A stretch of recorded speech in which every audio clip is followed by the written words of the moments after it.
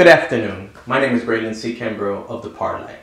Today's topic is Game of Thrones the best show on TV? While taste is subjective, quality is often more objective.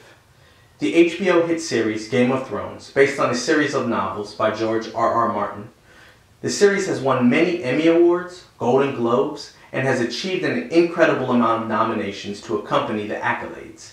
Is Game of Thrones the best show on TV? The writing is well rated, the acting as well.